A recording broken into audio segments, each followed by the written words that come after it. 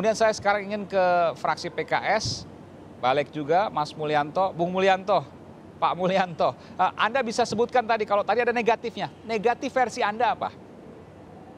Ya bagi kami. Kita buka-bukaan untuk kita jawab di sini. Silakan. Ya, kami terus terang aja, kami mengikuti pembahasan PKS sejak awal dengan proses pembahasannya, persidangannya dan aspirasi-aspirasi yang diterima. Ya memang ini luar biasa ya, sangat ngebut sekali. Pagi, sore, malam, nerobos hari Jumat, hari Sabtu, hari Minggu, bahkan saat reses pun kita terjang ya sampai jam 12 malam setiap hari. Kelemahan menurut kami yang kami rasakan ini dari pembahasan-pembahasan yang ada, undang-undang ini terlalu liberal. Liberalisasi perdagangan, liberalisasi pendidikan, termasuk juga masalah liberalisasi di sektor pangan, hortikultura sangat syaratkan. Hmm. Kita sampai panggil dua kali dubes WTO itu kita dengarkan di mana sih persoalannya. Bisakah kita mempertahankan kedaulatan pangan, namun kita masih friendly dengan klausul-klausul WTO. Sampai terakhir kalimat yang dirumuskan itu bagi kami tidak memuaskan. Tetap saja dominasi liberalisasi ini masuk ke ruang-ruang kedaulatan pangan kita. Oke, realnya seperti apa Pak Mulyanto? Kalau Anda kata-kata liberalisasi, oke kita tahu kan itu bahasa-bahasa retorika, tapi bagaimana kemudian Ya. realnya? Apa yang akan terjadi?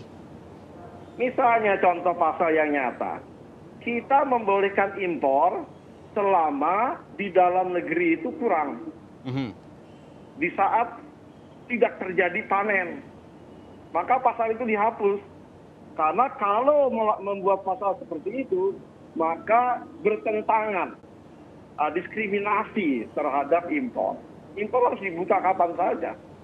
Jadi kalau Nah, seandainya kurang, eh, pasal impor kan kalau kurang, impor. Tapi pasal itu dihapus. Ya, Apa efeknya? ya efeknya kan berarti ketika uh, panen tiba, Ya. ya kan? Dan kurang? Produksi petani ada melimpah. Kalau dibuka impor, sementara harga impor itu eh, bisa lebih murah, jatuhlah harga beras petani Betul, misalnya betul. pangan petani. Betul. Maka terjadi persaingan yang sangat ketat. Oh, eh, Maka begini bentar. akhirnya Mohon maaf, mohon maaf. Jadi begini, dihapusnya pasal itu artinya itu akan justru bermain impor lebih liar. Begitu Anda mengatakan itu? Iya, itulah dia kenapa kita apa eh, sangat keberatan Oh, terkait sebentar. masalah Jadi saya, saya harus masalah saya harus dudukan ini dulu. Sebelumnya ada pasal yang menyatakan kalau kurang maka boleh impor. Boleh ini ya, kita garis bawahi boleh. Tapi kalau lebih tidak boleh impor, begitu ya. Sebelumnya ada pasal itu. Ya.